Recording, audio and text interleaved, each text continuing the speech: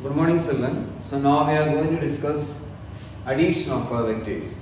How we can add two vectors. You know in the case of uh, addition of vectors, we are discussing here addition of vectors by graphical method. You know in order to add two vectors, basically we are following, there are two rules. One is considered as a triangle law of vector addition and another is the parallelogram law of uh, vector addition. So here first we are going to discuss the case of a triangle law of vector. So here first uh, we are going to discuss by this method how we can add the two vectors. So I am going to consider there are two vectors. You can see that uh, vector A and representing vector A along this direction and uh, vector B along this direction I am representing. So this is the way we are having two vectors vector A and uh, vector B. I want to add these two vectors. Like this say, I want to add this vector. That means A plus B. So the resultant vector is considered as a A plus B. We are going to do this operation graphically. How we can do this uh, operation graphically? By the method of a triangular law of vector addition. you know in the case of a triangular law of vector addition, so if two vectors are representing the two sides of a triangle, then the resultant side, then the resultant vector is the third side of the triangle which is taken in the opposite direction. So please listen how we are stating the triangular law of vector addition and we are following that method only in the case of a vector addition. So let us first understand what is triangular law of vector addition. See that if two vectors are representing the two sides of a triangle which are taken in the same order, then the resultant vector is the third side of the triangle which is taken in the opposite direction. So by using this method we can add these two vectors. So you can see that this is our vector A and this is our vector B. When we are concerned the case of a vector, this arrow side is known as the head of the vector and this is known as the tail of this vector. So according to this law, we can see that I have taken this first vector A which is having same magnitude and direction like this way which is having same magnitude and same direction. And uh, second vector B so you can see that second vector B I am joining to the head of the vector first A like this way. Here only I am going to join the second vector B which is having same magnitude and in the same direction. So I am following the same direction and the same magnitude.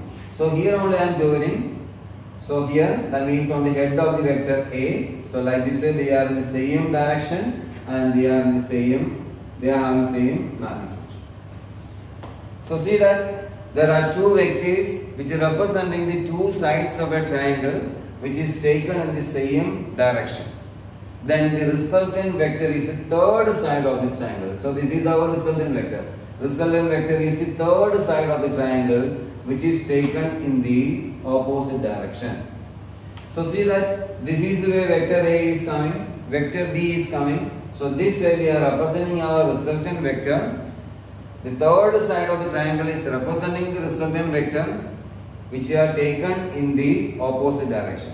If you are taking this vector along this direction, you see that this is the way only a vector flow. But resultant vector is in the opposite direction means this is the direction of this our resultant vector R. So R is representing our resultant vector in magnitude wise as well as a direction. So by this method, graphical method, we can add the two vectors.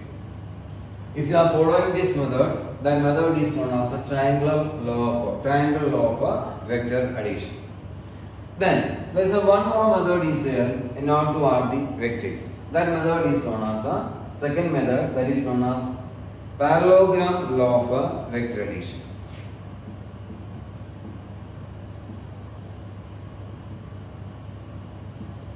Parallelogram law of vector addition. So when we are concerned the case of a parallelogram law, similarly we are going to discuss how we can add these two vectors A and B by this method. So vector A and B am representing the same vectors. Vector A is taken along this direction, you can see that. And uh, vector B also I am taking along the same direction. Vector B also we are taking in the same direction. having same magnitude as in the previous case, same direction. So we have to add these two vectors by another method. So that is our second method that is known as a parallelogram law of a vector addition. You know according to this parallelogram law, there are two vectors which are representing the two adjacent sides of a parallelogram which are taken from the same point then the resultant vector is the diagonal of that parallelogram which is taken from that uh, same point. So by using this method we can find this uh, resultant vector. Please listen how we are stating the parallelogram law. There are two vectors which are taken on the adjacent sides of a parallelogram taken from the same point then the resultant vector is the vector is representing the diagonal of that parallelogram which is passing through that uh, same point. So this is the way there are two sides of this uh, uh, parallelogram. So we can represent it. So the operation is a vector r is equal to vector a plus vector b. So I am taking vector a as our first vector which is having same magnitude and uh, same direction. So according to our rule, the two sides means the two vectors which are representing the two adjacent sides of a parallelogram. So I am taking this vector b. I am taking this vector b which is in the same direction as well as uh, having same magnitude. So like this we are taking this uh, vector b. You can see that same magnitude and uh, same direction which are taken from the same point. I mentioned this point as a O. So I can complete here parallelogram. By this method I can complete the parallelogram here. You can see that. Then the resultant vector is taken as what is that? The diagonal of this parallelogram which is taken from the same point.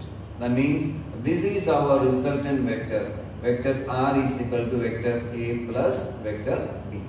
So this is the way we can find this resultant vector by the method of a parallelogram law vector addition.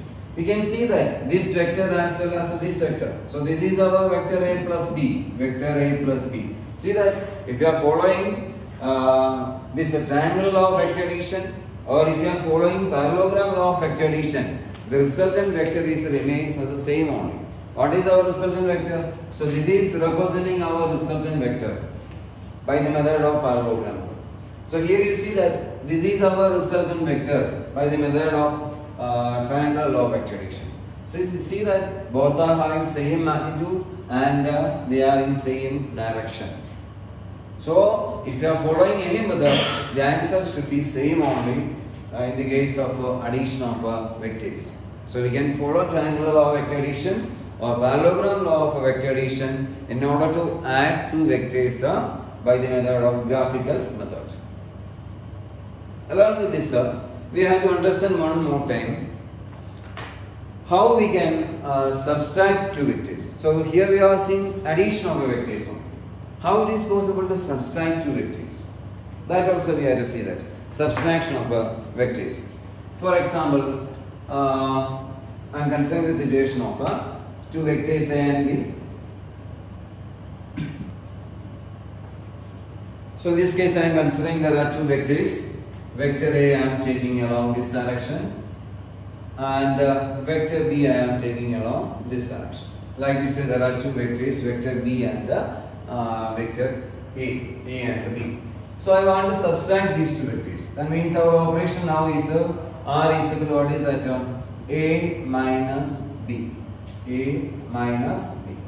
So we want to subtract these two vectors. You know in the case of a subtraction of a two vector, we cannot subtract the two vectors directly. Instead of subtracting the two vector, we can add the negative of that uh, uh, subtracting vector. For example, in this case, we can see that vector A minus vector B only. So B vector we are subtracting from this vector A. So how we can do this operation? So resultant vector R is equal to, you can see that vector A plus minus of vector B. So we can add the negative vector along with this uh, vector A. So we are getting the subtraction of uh, two vectors. That method only here we are going to uh, uh discuss. So we are having a two vector vector A. So you can see that vector A is uh, along this direction. I represented vector A. And vector B, we can see that vector B is also here. So vector B I am joining here. You can see that vector B. So which is uh, having same magnitude and the direction vector B. You know, we have to do the operation of a subtraction. This operation we have to do. So I said, in order to subtract the two vector, we have to add the negative vector of that. So what is the negative vector of this vector B? So we have to follow in the opposite direction. Like this we have to follow this negative vector. So this is our negative vector of B. Therefore, the resultant vector is uh, along this direction. So this is our resultant vector. You can see that. So this vector is representing our resultant vector.